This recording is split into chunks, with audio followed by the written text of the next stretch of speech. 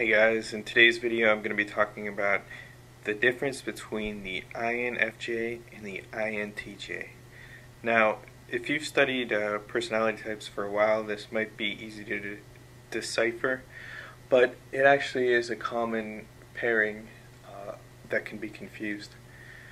The INFJ and INTJ have a lot of similarities. They both have their main function of introverted intuition, which means that they are long range thinkers. They kind of uh, see patterns and see how things work and kind of have a single narrow minded focus in some ways of where they think things should go and, and they kind of follow that path and it helps them to reach their goals and see things that maybe other people have a hard time seeing. So in that way, they both kind of overlap each other.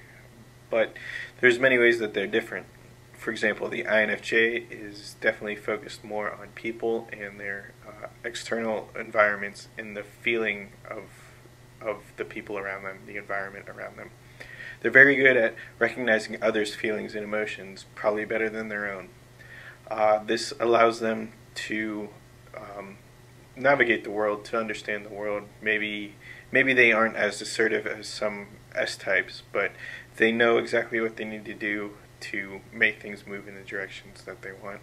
And being so in tune to people's feelings, they are good at building rapport and um, just uh, they're just good with people. Even though they're a bit shy, they are very, very talented and skilled at dealing with people and being diplomatic in their approaches to life.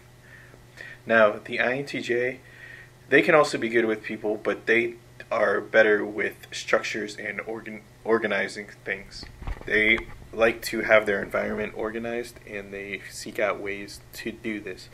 Um, they like efficiency and they will go for consensus on logic. They like tried and trusted, tried and tested methods to uh, get their way. So they're very uh, focused on what they want to do.